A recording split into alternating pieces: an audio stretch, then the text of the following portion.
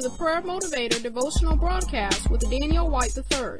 We are glad that you have joined us as Daniel Whyte III encourages us to pray without ceasing throughout the day, every day, for the glory of God.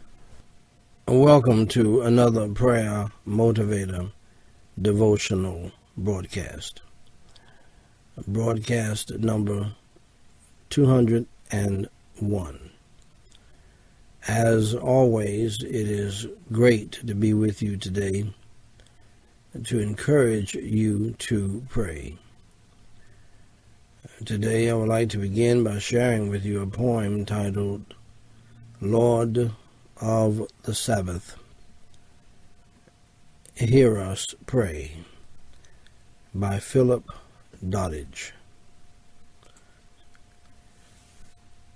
Lord of the Sabbath, hear us pray.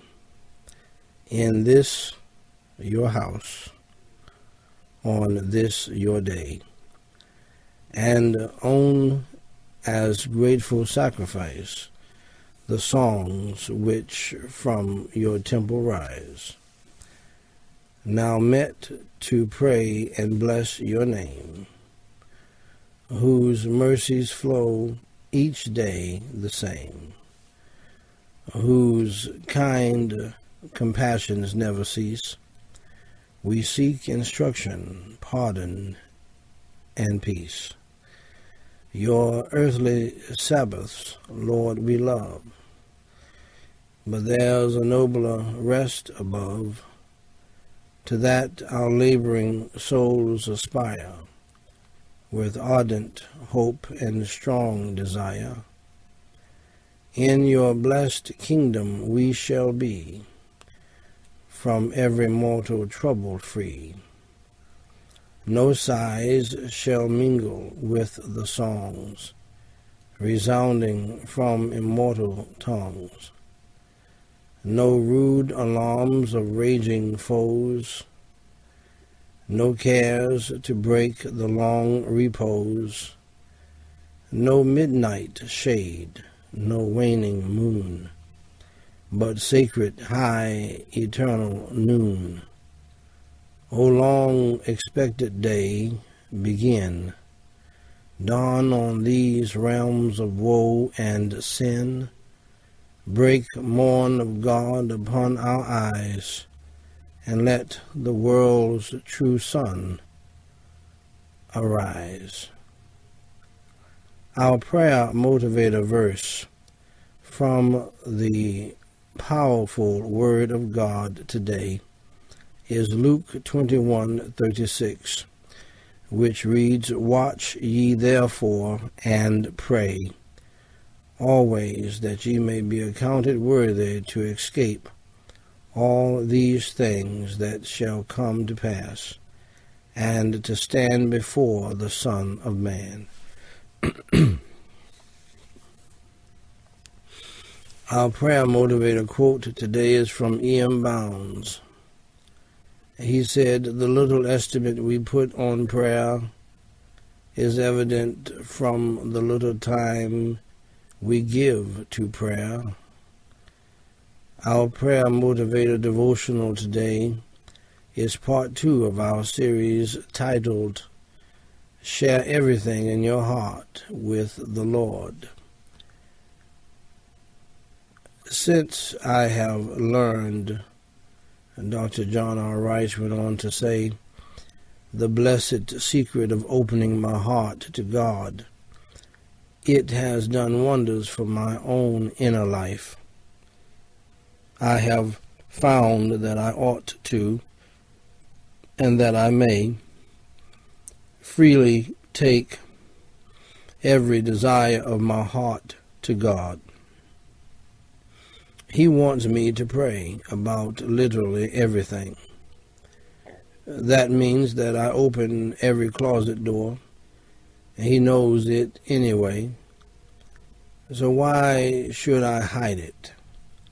And if God loves me more than a father loves his child, why should I not tell him about anything I want, anything I need? And even if I have a want, a desire that is not according to his will? Should I not tell him about it? Should I not ask him to reconcile my desires with his will? I have resolved before God that I will never want things that I cannot talk to God about. And when I take the things to Him, He cures the desires that are evil by helping me to confess them, and He also gives me a blessed confidence that I have a right to ask of my Heavenly Father for anything in the world that I want. O Christian, do not shut God out of a single corner of your life, of your heart. Tell Him everything. Ask Him for literally anything your heart desires. The presumption is that God wants you to have everything you desire.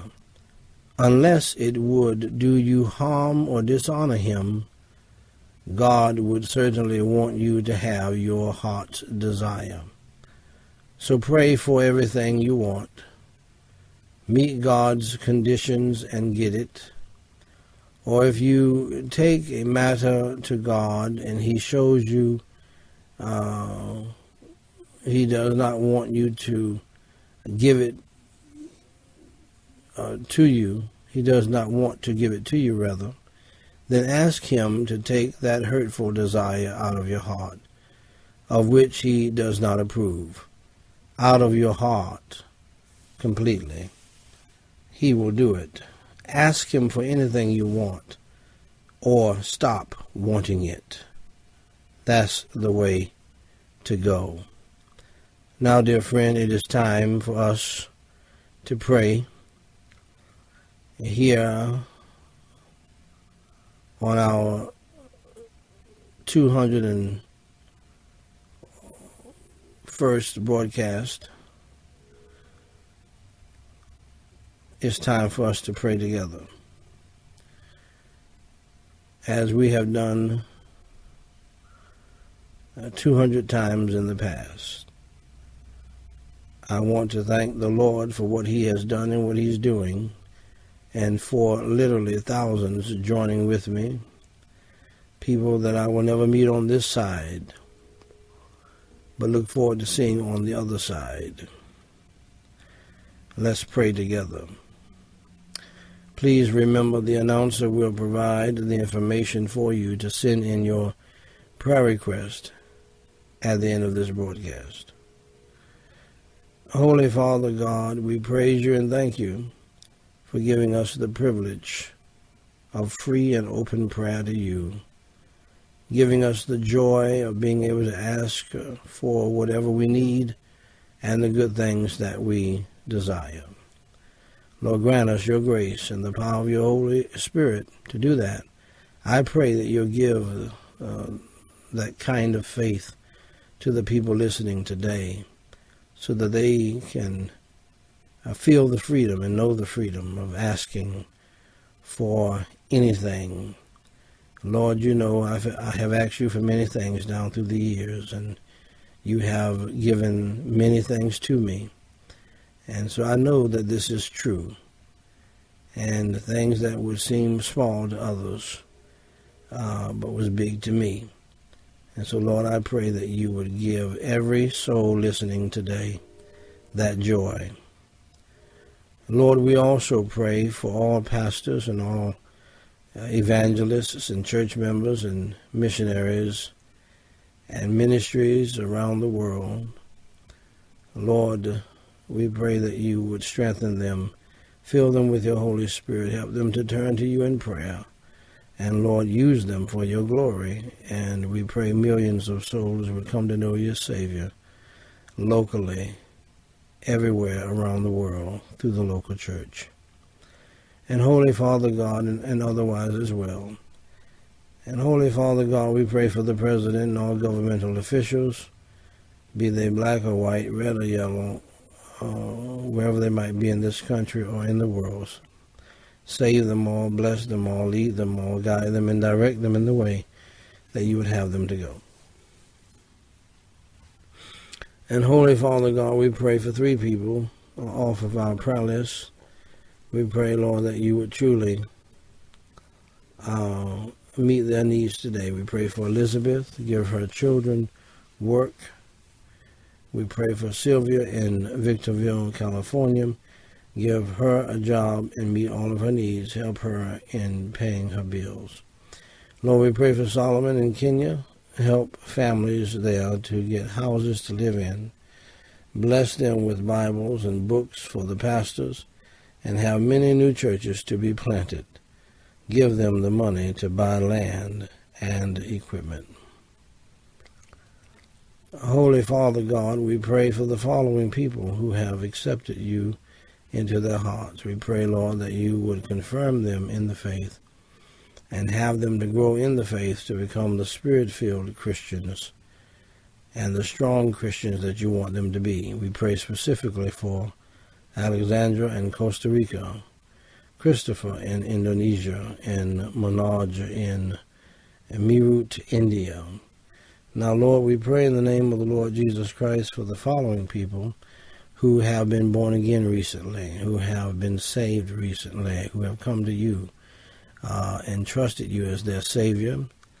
And uh, Lord, we uh, pray for these also uh, that um, uh, since they have been saved uh, for a while, now they're coming to you for rededication as well. I think my producer skipped a section here. Let's see. Uh, yeah, we did this. Okay. Uh, and uh, Lord, we pray in the name of the Lord Jesus Christ for these who have rededicated their lives and uh, after being saved for a while. We pray, Lord, for Ilhom in St. Petersburg, Russia. And we pray for Daphne. And we pray and include in this prayer Angie in Nairobi, Kenya. Lord, we pray that you would strengthen these in the faith and help them to keep their commitments to you. In the name of the Lord Jesus Christ and for his sake. Amen. Now, dear friend, if you are listening to this broadcast, wherever you are in the world, and you have not accepted Jesus Christ as your Savior, please notice these verses. The Bible says in Romans 10 9 and 13 that if thou shalt confess with thy mouth the Lord Jesus and shalt believe in thine heart that God hath raised him from the dead, thou shalt be saved. For whosoever shall call upon the name of the Lord shall be saved. Now, friend of mine, if you are willing to trust Jesus Christ as your Savior today, please pray with me the following prayer. Heavenly Father, I realize that I am a sinner. I've done bad things in my life. For Jesus Christ's sake, please forgive me of my sins. I now believe with all of my heart that Jesus Christ died for me, was buried and rose again. Lord Jesus, please come into my soul, come into my heart, into my spirit, and save my soul in life today and change me forever. Amen.